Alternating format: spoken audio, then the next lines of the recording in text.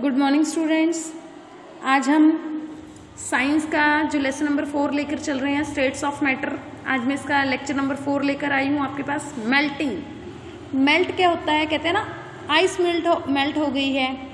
Ice cream melt हो गई है. मेल्ट होता है पिघलना. मेल्टिंग क्या होता है? पिघलना. A solid changes into a liquid when it is heated एक ठोस चीज़ कब पिघलती है, जब इसे क्या मिलती है? गर्मी मिलती है। अब मैं आपको इसका एग्ज़ाम्पल देती हूँ। बर्फ़ है बेटे। जब तक वो ठंड में है, यानी फ्रिज में है, तब तक तो वो जमी रहेगी। लेकिन जब आप उसे बाहर निकाल दोगी, उसे हीट मिल जाएगी। हमारा एटमोसफेयर में तो हीटनेस होती है ना तो वो क्या हो जाएगी? पिघलनी शुरू हो जाएगी। This process is called melting इस प्रोसेस को क्या कहते हैं? मेल्टिंग यानी पिघलना कहते हैं। When a solid is heated जब एक सॉलिड को, कठोर को गर्म किया जाता है।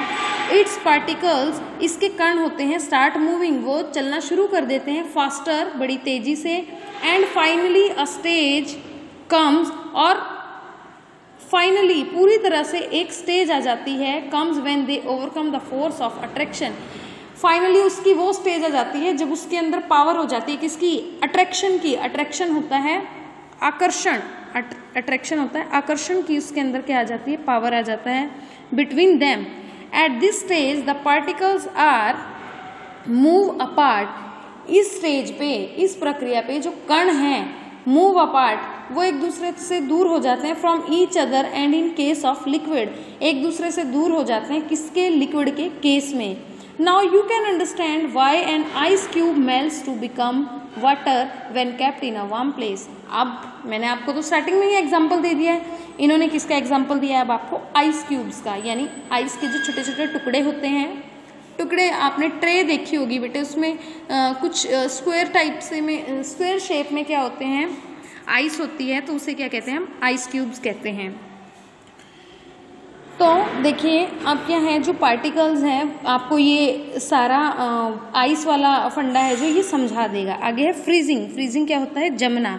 A liquid changes into solid on cooling a जो लिक्विड होता है चेंज इनटू सॉलिड वो दोबारा से किसमें चेंज हो जाता है? सॉलिड में, कठोर में ऑन कूलिंग ठंडा होने पर। अगर बर्फ़ थी पहले हीट के पास ले गई, वो पिघल गई। लेकिन उसको दोबारा से उसी पानी को हम फ्रिज में रखेंगे तो वो दोबारा जम जाएगी। दिस इज़ कॉल्ड फ्रीजिंग इसे क्या कहते हैं? फ्रीजिंग को जमना। जमना या ठंडा। For example water changes into ice on cooling मैंने आपको एग्ज़ाम्पल दे दिया। The particles move closer on cooling and they are not able to move freely the particles move closer जब वो ठंडे हो जाते हैं जब वो गर्म हो जाते हैं तो पार्टिकल्स क्या हो जाते हैं? दूर दूर हो जाते हैं। जब वो ठंडे हो जाते हैं तो वो पार्टिकल्स क्या हो जाते हैं? क्लोज हो जाते हैं। They get arrange in a fixed pattern as in solid वो दोबारा से ठंडे होने के बाद क्या हो जाते हैं? फिक्स पैटर्न में सॉलिड जिस रूप में होता है, उसी में जम जाते हैं। Thus heating and cooling change into arrangement of the resulting the changing states of matter इसलिए पदार्थ की क्या होती है? लिक्विड की ये अवस्थाएँ होती है। देखिए आइस मेल्टिंग फ्रीजिंग वाटर पहले क्या है? आइस क्या हो गई? मेल्ट हो गई। ठीक है, पिघल गई।